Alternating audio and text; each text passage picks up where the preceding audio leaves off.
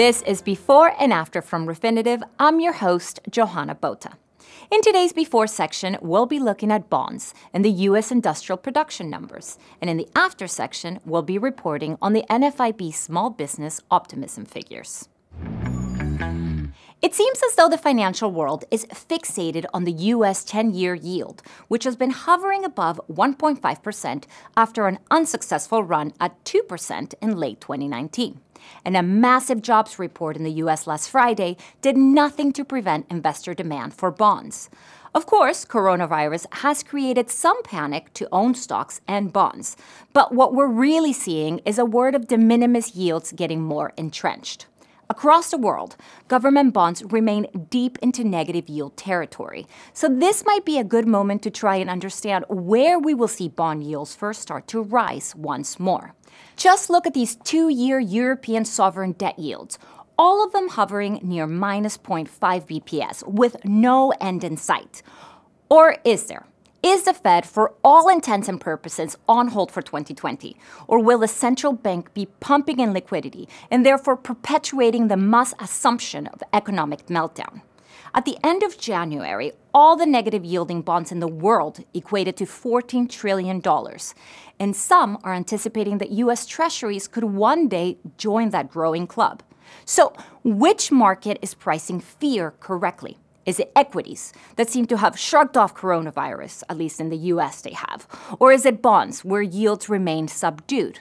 Perhaps the answer lies with the German 10 year Bund yield. Since its lows of minus 70 BP last summer, the Bund rallied hard to just minus 20 BPS.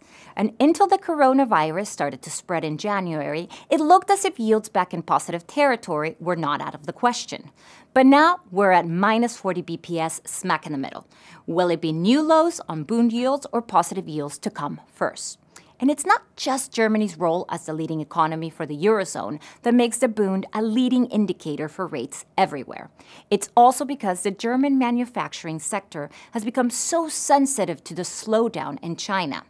And so, if the Bund steadies despite all this weakness in macro fundamentals, it could mean that higher yields are around the corner. The big question would be what level of yields will destabilize markets? In 2018, it was the US 10 year yield reaching 3.25%. Today, it will probably be lower. Mm. Of all the current assumptions about the US economy, it is the industrial production number that remains an enigma. We know that the jobs market is firm and that services as well as small businesses are driving the US economy right now. Industrial production measures the output of businesses that form part of the economy's industrial sector. Manufacturing is the most important sector since it accounts for 78% of total production. Last month, we saw a month over month decline of 0.3%, which was greater than expected. Now, the forecast is set for industrial production to be anemic and that it will be dragged down by manufacturing you can see this has already been priced into the S&P steel sector, which is the worst performing category across the S&P 500 so far this year. And if you dig a little deeper, it's clear that the S&P steel sector is just one stock, Nucor.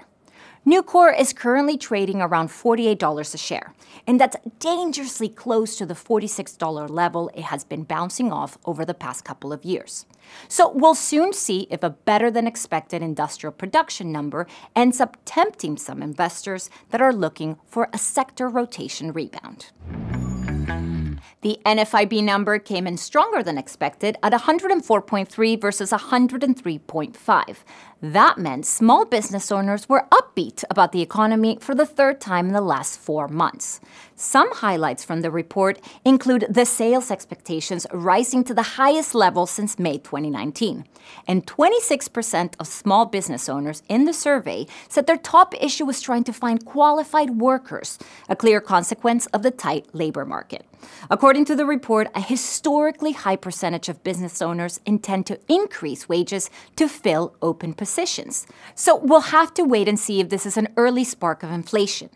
And just as we anticipated, IJR took the strong number and went off to the races, surging 1.5% in the morning session before finishing up 0.75% for the day compared to the S&P which was only up 0.17. Let's keep our eyes on that spread to see if IJR plays catch up. So there it is bonds and U.S. industrial production in the before, and NFIB small business optimism numbers in the after. Refinitiv data throughout. This has been the Friday episode of Before and After. Please subscribe and hit the notification bell to ensure that you're alerted to all of Refinitiv's future market updates. Have a great weekend, and we'll see you on Tuesday. This